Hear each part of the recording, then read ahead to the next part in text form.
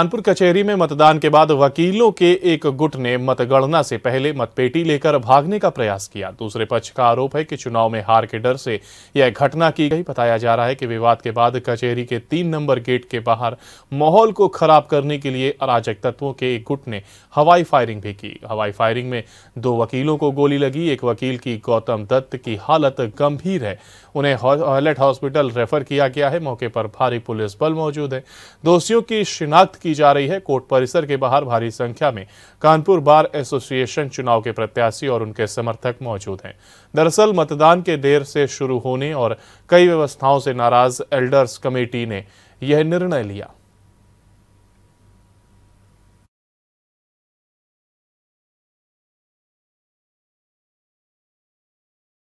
उसको इतना पता है कि किसने क्या किया? मैं सकल किसी की भी नहीं देख पाया हूँ अभी तक पर जिसने किया है हमको घायल किया है और उससे गोली लग गई। हो सकता टारगेट वो हो या हो सकता टारगेट मैं रहा हूँ।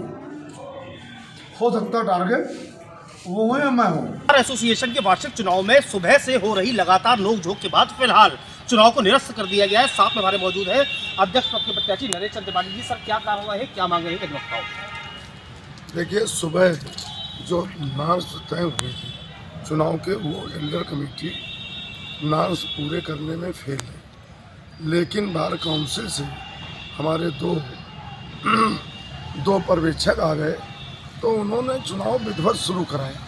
यद्यप विलम्ब से शुरू हुआ, नौ बजे से जो वेट कर रहे थे तो भारी लाइन लग गई। और 16 जगह चुनाव अब की बार होना था 16 बूथ थे। तो सब जगह लाइन लगा के शांतिपूर्वक ढंग से चुनाव संपन्न हुआ। जब करीब पौने चार बजे प्रत्याशियों ने, जो छोटे पदों के प्रत्याशी हैं, बड़े पदों के प्रत्याशी हैं, उन्होंने न्यायिक बिल्डिंग में जो बूथ थे दस, उनमें गड़बड़ किया तो चुनाव रोक दिया गया।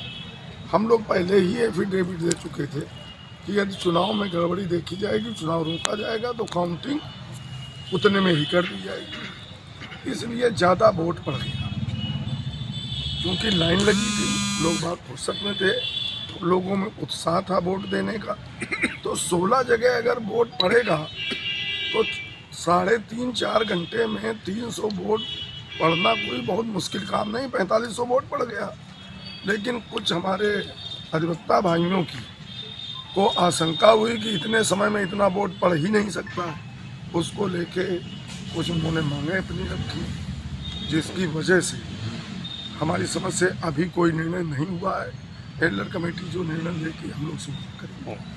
चलिए तो ये थे कुछ कारण जिस वजह से बार एसोसिएशन के वार्षिक चुनाव को कहीं ना कहीं स्थगित किया गया है। निरस्त करने की बात कही जा रही है, लेकिन ये जो निरस्तीकरण है फ़िलहाल, अगले आदेश तक सुरक्षित किया गया है। कैमरा पर्सन बलराम पांडे के साथ विवेक दीक्षित जेमडी न्यूज़ अगर आपको हमारा वीडियो पसंद आया हो तो हमें लाइक करें सब्सक्राइब करें और ज़्यादा से ज़्यादा शेयर करें। और हाँ बेल आइकॉन दबाना ना भूलें, ताकि हर खबर का अपडेट आप तक पहुँचे तुरंत। आप हमें इंस्टा ट्विटर और फेसबुक पर भी फॉलो कर सकते हैं।